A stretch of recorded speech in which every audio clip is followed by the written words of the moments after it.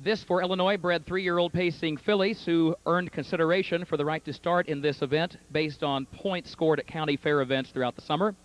Win, play, show, exacta trifecta wagering, no scratches.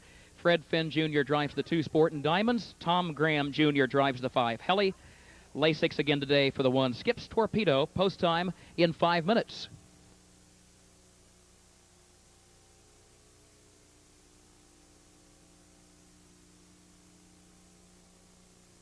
Let's meet the starters. Number one, Skips Torpedo is owned by Steve Titus of Charleston, trained by Rebecca Mudd. The driver is Dave McGee.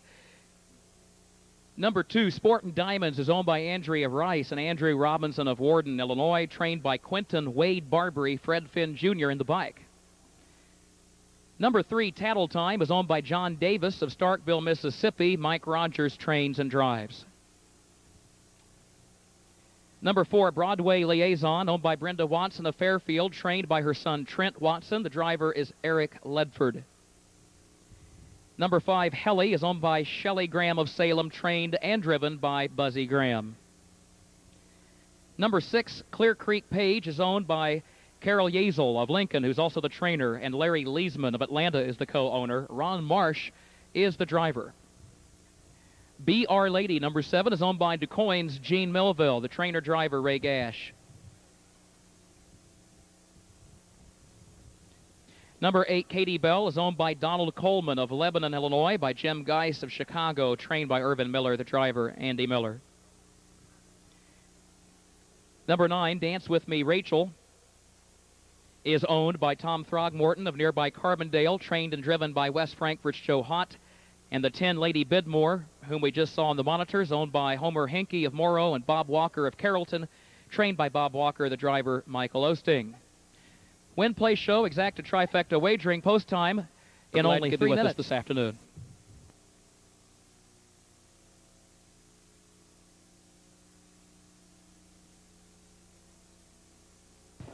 They are off and pacing. Dance with me, Rachel on the far outside. Helly between horses. Tattle Time is showing speed, and then Sportin' Diamonds down toward the rail. Tattle Time and Helly come to the front together past Sportin' Diamonds, who travels in third. Clear Creek Page will settle against the rail in the fourth position as they go toward the quarter. Helly is on top a length and a half. Tattle Time second by three. Sportin' Diamonds third by two. Clear Creek Page is racing in the fourth position. Katie Bell is parked in fifth, moving up around BR Lady, who is sixth. 26 and three.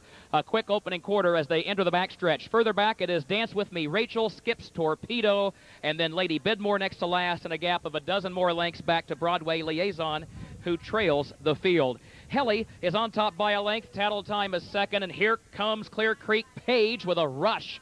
Clear Creek Page and Katie Bell moving right behind her. Clear Creek Page, the new leader at the half by a length. Helly is second. Katie Bell moves up third. Tattle Time is shuffled to fourth, and Sportin' Diamonds is fifth.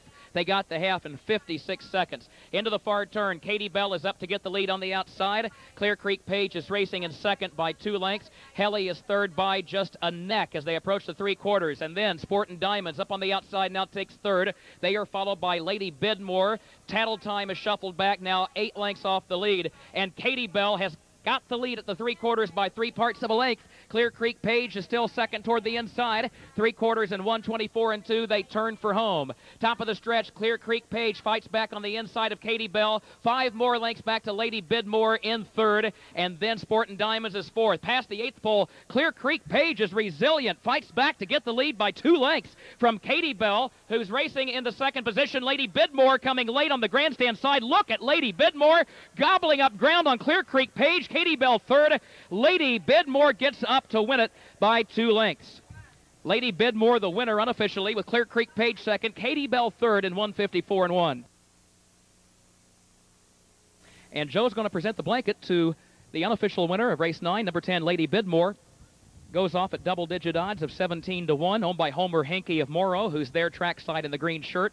Bob Walker, the trainer and co owner, is congratulating driver Michael Oosting right now. Bob is from Carrollton, and Michael Oosting, the winning driver, Sean Walker, and Jeff Driscoll. A whole lot of folks from Greene County about to get their picture made in victory lane at DuQuoin. Hart Walker is there as well. Folks, how about a hand for the winner, Lady Bidmore?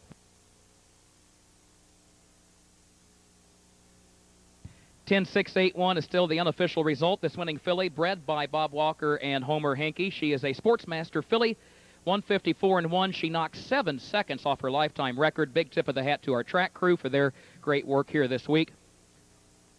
The result is official. And by the way, folks, there have been uh, so much talk in the last couple of years about patriotism here in the U.S., and that man who trains this horse, Mr. Bob Walker, served his country. He is a veteran of the Vietnam War. Bob, congratulations on the win with Lady Bidmore. Rundown coming up.